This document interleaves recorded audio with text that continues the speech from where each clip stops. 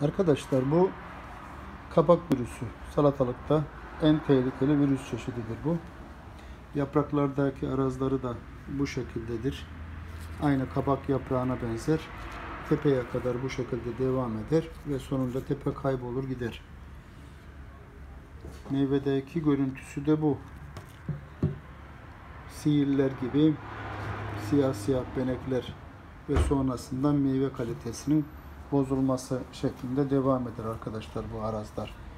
Bunun bulaşıcılığını sağlayan beyaz sinek ve afitler, yaprak bitleridir. Çoğunlukla beyaz sinek ve çevrede e, bulunan kabak, e, tüm kabak çeşitleri, su kabağı, bal kabağı, normal e, kızartmalı kabakların yeşili, beyazı diye bir ayrımı yok arkadaşlar.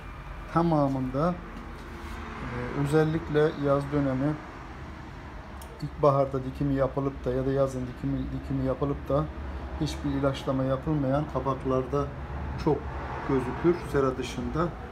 100 metre, 200 metre ileride bile olsa arkadaşlar bu bu beyaz sinek gibi, afit gibi e, haşereler tarafından çok rahat bir şekilde bitkilere bulaştırılabilir, bulaşır. Bunları görünce söküp atacağız arkadaşlar. Sakın tepesini kırıp da geriden ürün alırız diye düşünmem. Çünkü tüm gelen meyveler bozuk gelir. Bu şekilde gelir. Bu düzgün bir meyve normalinde bu kıvrılır. Çok kalitesiz bir renk alır arkadaşlar. Bunun sökülüp uzaklaştırıp gömülmesi gerekir ya da yakılması gerekir. Yani seranın dışına atmakla bu çözüm sağlanmamış olur. Çok rahat bir şekilde oradan bulaşma devam eder arkadaşlar. Kabak virüsü hiçbir zaman bir ilacı yoktur arkadaşlar. Bunun ilacı var diyen de yalan söyler. Ama iyi bir beslemeyle, içerideki haşerelerin temizlenmesiyle yayılma bir dönem önlenebilir.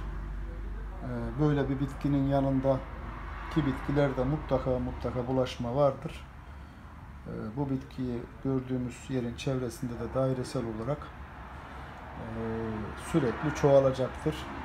Çünkü bulaşık olduğu için 20 gün, bir ay sonrasında bile hiç bulaşığı olmayan bitkilerde bile virüse rast gelebiliriz arkadaşlar. Onun için söküp temizlememiz gerekir.